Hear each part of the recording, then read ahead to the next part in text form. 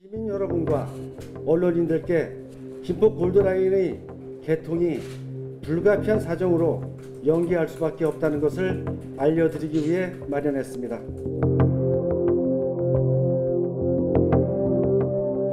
아씨 다음 주부터는 지하철 타고 다니면 될 줄 알았더니 아니네요.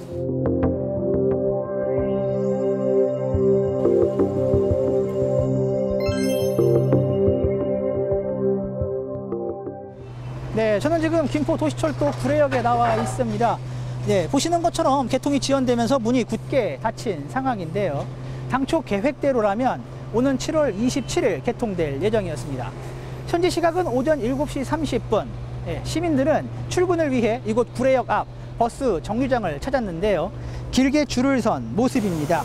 보다 편한 출퇴근길을 기대했던 시민들은 도시철도 개통 연기 소식에 한숨을 쉬었습니다. 아침에 좌석 버스인데 자리 없어요.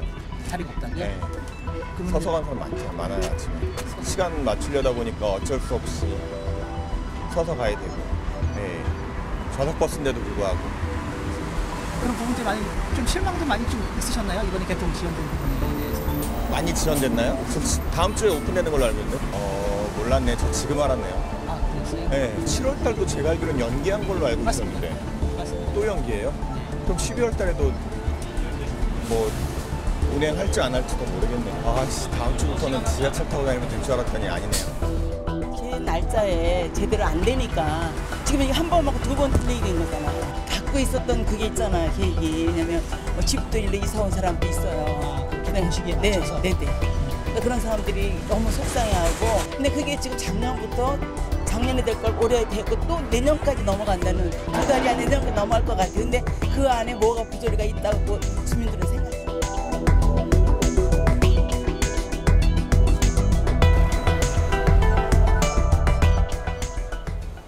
도시철도 개통 지연에 따른 시민들의 실망감이 커지고 있습니다. 제 뒤로 보시는 것처럼 시민들은 1인 시위도 시작을 한 상황인데요. 그럼 1인 시위에 나선 시민과 직접 이야기를 한번 나눠보도록 하겠습니다. 저희 CJ 헬로 김포 방송에서 나왔는데요. 1인 시위 관련해서 좀 인터뷰를 요청드리고 싶은데 1인 시위에 나설 정도로 시민들이 그 분노한 그 궁극적인 이유가 어딘지 제가 그게 좀 궁금해요. 약속이 하나도 안 지켜져서 그렇죠. 저는 사실 지하철이 그렇게 큰 목적이나 뭐 활용도에서 저는 사실 그런 사람들은 아니지만 그래도 우리 김포시에 살고 있는 사람의 약속이잖아요. 저는 뭐 신도시 쪽에서는 분담금도 1200세대당 이렇게 내고 왔다는데 저희는 여기 바로 앞에 살아서 그렇지는 않지만 그래도 우리가 그 공약을 했기 때문에 쏟아졌던 사람들이 이렇게까지 약속을 안 지키면 이제 지금 12월이라면 또 언제 더 미뤄질지도 모르고 이렇게 엉성하게 일들을 진행했었나 근데 이렇게까지 계속 미루고 미루고 미루는 건 문제가 있지 않나 싶고 좀 우리가 무슨 생각을 하고 있는지 좀 알아야 될 것 같고 그래서 나왔습니다. 그러니까 정치인들이 내걸었던 공약, 그러니까 말 그대로 약속했던 부분들이 지켜지지 않은 데서 오는 이런 행정상의 불신을 말씀하시는 그렇죠. 예, 그렇죠. 그럼 이 커, 1인 시위를 제가 듣기로는 이제 커뮤니티에서 촉발이 돼서 시작하신 걸로 알고 있거든요. 네. 이거 나서시는 시민분들은 어떻게 순서를 정하고 어떻게 정하고 그냥 자원했어요. 그냥 자원? 예, 예, 무조건 그냥 뭐 네, 제가 언제쯤 시간이 괜찮아요. 그러면 그 시간에 가서 하시고 그냥 자발적으로 참여하는 거라서 스케줄이 따로 있거나 그렇지는 않아요. 김포 도시철도 개통 지연에 대한 시민들의 실망과 분노의 목소리 듣고 왔는데요. 여기서 한 가지 더 짚어봐야 할 것이 있습니다. 바로 김포 도시철도 개통 지연이 지역 부동산에 어떤 영향을 미쳤는지입니다. 일각에서는 개통 지연이 부동산 시장에 악영향을 끼치지 않았을까 우려하는 목소리가 있는데요. 전문가와 함께 관련 내용 이야기 한번 나눠보도록 하겠습니다. 따라오시죠.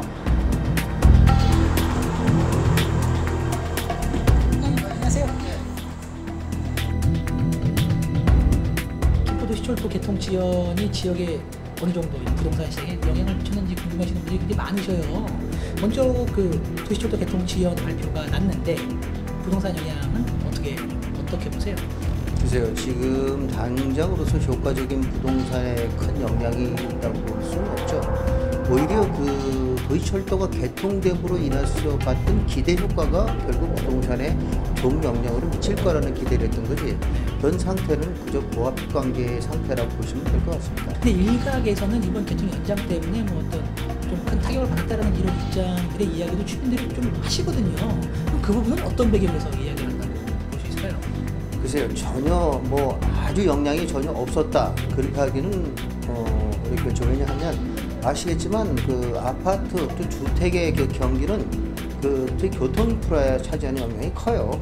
사실은 이번 7월 달에 개통했더라면 그 어려웠던 그 아파트 경기, 즉 뭐 김포뿐만 아니라 모든 주택 경기들이 뭐 어렵습니다. 그 가운데 조금은 어떤 그좀 좋은 영향을 끼칠 수 있는 건 사실입니다. 지금 당장 받을 수 있었을. 텐데. 예, 네. 영향을 받아서 네, 지금까지 주민들과 만나 이야기를 나눠보았습니다.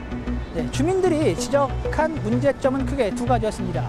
첫째, 불편의 기간이 늘어났다는 점. 둘째, 집행부, 즉 김포시가 시민들과의 약속을 두 차례나 어겼다는 점. 주민들의 분노를 잠재울 적합한 근본적인 대책은 바로 보다 빠르고 안전하게 김포 도시철도를 개통하는 것입니다. 지금까지 이 기자가 간다. 이재필입니다.